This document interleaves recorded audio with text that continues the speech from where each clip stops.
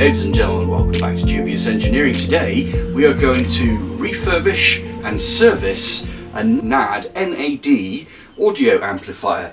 A lovely amplifier, a lovely piece of kit, and they've got some fantastic functions, uh, such as soft clipping to stop drunk people from parties whacking the volume up and blowing up your speakers and that kind of stuff. So we'll get into this. We're going to ultimately replace a lot of the capacitors uh, inside this guy to make sure that any capacitors that might have dried out are sorted and then we'll be able to hand it back to its owner happy in the knowledge that this will be continuing its service for many years into the future. Without further ado, let's get into the detail.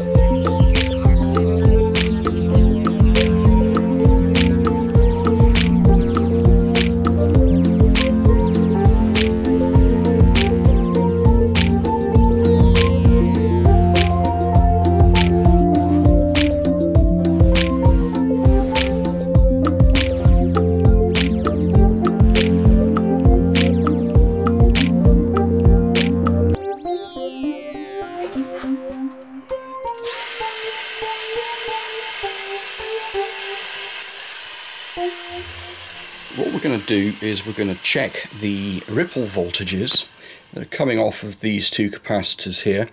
So we have the oscilloscope, oscilloscope. We have the oscilloscope set up and uh, the top is off this, so clearly there are live cables 240 volts in here, and actually the amplifier itself runs off of about 125 volts as well. So um, there we go, power is on. Uh, if you're going to do this, please make sure you're very careful with mains voltages being on this board. Now, that said, what we need to do is we, we need to have a look at the ripple on the power supply. And the plan ultimately will be to replace those capacitors, but it'll be interesting to have a look at before and after. And, um, and I have quite a lot of other capacitors that uh, we need to replace on this PCB as well. So if we just uh, have a quick look at the circuit diagram for this bad boy, what we've got here is a bridge rectifier and then these two big capacitors that you could see, the 6800 microfarad capacitors just here. Um, and then out of here we get a plus positive voltage and negative voltage and the middle of those two capacitors is tied down to ground. And let's have a look at the output, uh, the plus and the minus side of the voltages that are coming out of that uh, of that system there. Let's just have a quick look and see what the ripple looks like. So now we're on ground with the crocodile clip from the scope probe and then what we're going to do here is we're going to have a look at uh, the positive ripple and as you can see on the scope screen here we do have a little bit of positive ripple that's 50 millivolts per division there um, so we're looking at about 100 millivolts of ripple and noise on the positive. And then if we put it on the negative just wait for that to come in. Yeah it looks very similar. Another 100 millivolts of ripple uh, coming from the negative side of the power supply. So uh, it looks as though those capacitors working okay. Um, it would be nice if that was a little bit better but uh, not bad not bad Anyway, we're going to go ahead and replace those capacitors because we've bought some nice new ones and the old ones are a little bit cream crackered. So uh, we'll bust the soldering iron out, we'll chuck in some new power supply capacitors. At the same time, we're likely to go ahead and replace quite a few of the other capacitors that are on this, uh, on this board. Another thing that's fun to do with these amplifiers is if you plug into one of the channels uh, an oscilloscope and get it set up so that it's reasonably sensitive. And uh, if we turn up the volume as we turn up the volume you can see the noise level increases. Now uh, here's the cool thing. If we take one of these which is just a little phono blanking plug I've just connected the center pin to the outside and we plug that into the CD input like that. In fact I have two of them here. And boom. There you go. You can see that's unplugged. And that's plugged in. You can see even if I turn the volume right up to the maximum level on this amplifier that there's very little internal noise. And bearing in mind we're looking at 20 millivolts per division. So that's 20 40 so about 40 millivolts of noise. So I knew this uh, beer brewing pot would come in handy one day. Never throw anything away. Uh, because what this does is it holds this amplifier shell up just perfectly so I can get my hand in underneath to access those capacitors and the soldering iron on top of it. Now the other thing you should consider to do, if you look here at the uh, DVM, you will see that there's still nearly 14 volts in that capacitor, nearly 14 volts in that capacitor. So clearly it's unplugged and not running, but those caps are still holding a bit of charge. So just be aware of that. It's not mains voltage, it's not going to kill you, but it has the potential, if you were to short it against other components, to cause problems with pieces of silicon and that kind of stuff. Okay, let's get some of these caps replaced. Just uh, a little bit of fresh solder on the iron, and then um, hopefully these caps aren't glued down as well. I guess we're going to find out in a few seconds. Alright, good stuff. I can feel it coming away in my hand. And I'm pretty sure there you go. I'll give you a. We'll, we'll turn it over and we'll have a look and see uh, see what's going on. But yeah, okay. So you can see those caps have been glued in place because they're quite big and heavy. So when you're transporting this around, it could potentially wiggle around and cause problems. Anyway, good news. One cap out. We have some big fat hairy jackknives here, so we're going to put those in place. Great news. So when you're when you're inserting your replacement capacitor, clearly you need to make sure that the polarization is correct with these electrolytics. So this is where the new capacitor is going to live, right here, in place of the old guy. And all we've got to do now is get a dab of solder on those terminals there.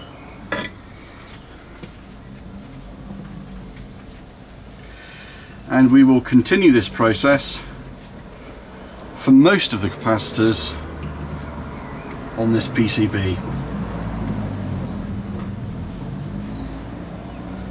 a nice flowing joint like that. Here they are, these two guys here and here.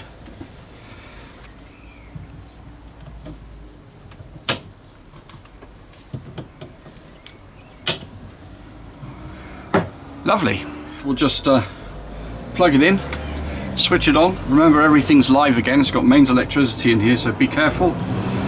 And uh, let's just check those, uh, check that power supply. 39 volts DC on that terminal, 39 volts DC on that terminal, so 40 volts. Absolutely spot on.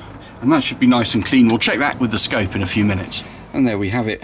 Lots of old capacitors replaced with spanking new ones. Look at those beautiful lowest ESR caps there. So whilst cleaning this up, another little problem I've noted is that this knob here sometimes grips and sometimes doesn't. It's quite simple. It's just got a little split symbol, uh, split symbol, a split spindle, and that spindle has splines on it, uh, that should engage inside here. But obviously someone's got a little heavy-handed with it at some point because, as you can see, the split has closed up. So all we've got to do is just get a little tiny fine jewellery type screwdriver in there, open that split up very carefully and that should give it enough grip or purchase on this here so that uh, it repairs it all and everything sinks nicely.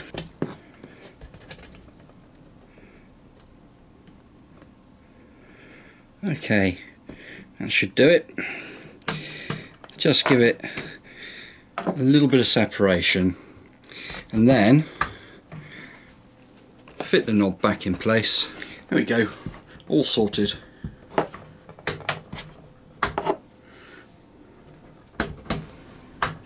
Lovely. Okay, so this is quite encouraging. If we just check the power supply, and this is the positive side of the power supply, and as you can see there, we've actually halved the amount of noise on the positive side of the power supply. And this is the negative side of the power supply. And again we're about half the amount of noise that we were. So the power supply is definitely looking better. So down in the bottom left hand corner of the scope display you should see there then that uh, we're 5 millivolt 5 millivolts per division. And we've got about 10 millivolts there so about half the amount of noise than we were before. And again actually this is quite impressive. So I've put um, some blanking plugs in to the CD input set everything on CD input.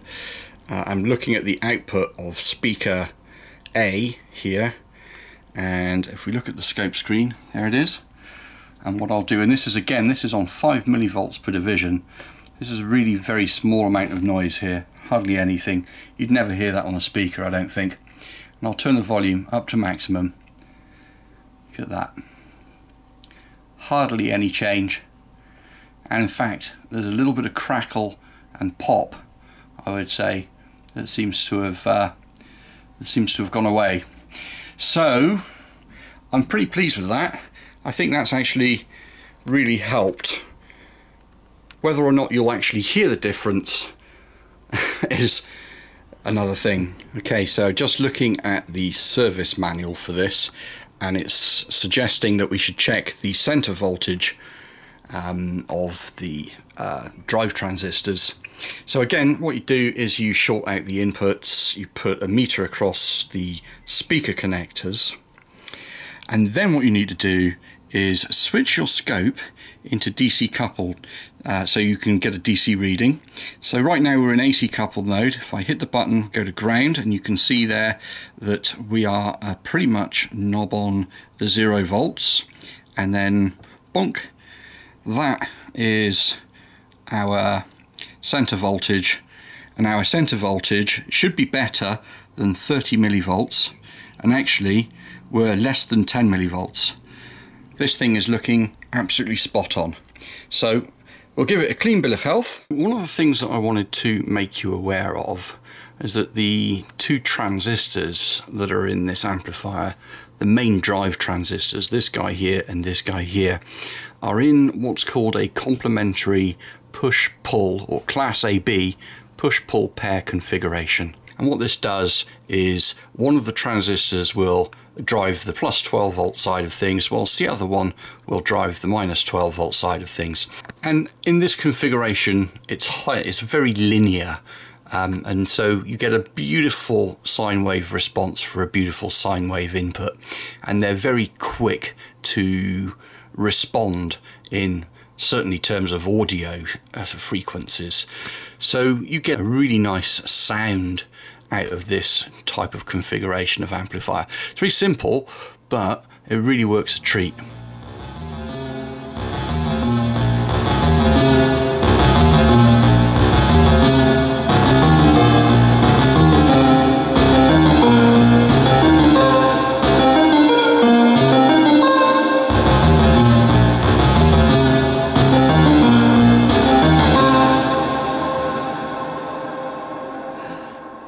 Fantastic. So clearly um, the final step is to check and test that everything's actually up and running properly. Um, and I'm quite pleased. This seems to sound absolutely magnificent and with the volume all the way up you you can't you can't hear anything coming from these speakers at all nothing not a thing so I'm pretty pleased this is running beautifully um, here's a scope. I was going to put a, a, sine wave through. I don't actually have a sine wave generator. The closest I could get was my iPad. it's a bit loud. anyway, I hope you've enjoyed the video. I hope it's been a bit of fun, a bit of education. Um, yeah, I enjoyed doing this repair and restoration job. So uh, we'll see you in the next one. Don't forget, share, comment, subscribe, all that kind of good stuff. Take care. Bye for now.